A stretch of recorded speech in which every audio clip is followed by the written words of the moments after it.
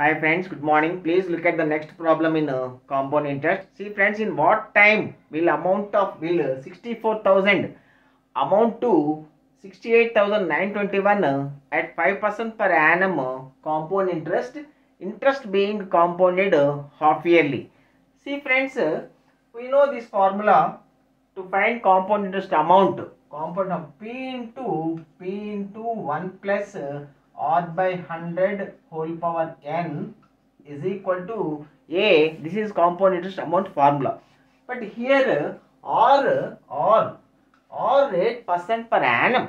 But here it is given that uh, interest is compounded half yearly. So R has to be taken as R by 2 that is 5 by 2.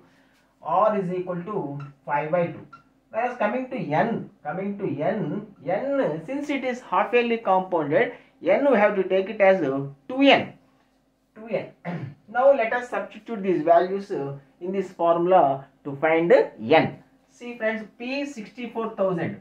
64,000 into 1 plus R 5 by 200 whole power 2N is equal to 68,921. 5 ones, 5 40s. So 1 plus 1 by 40. 41 by 40.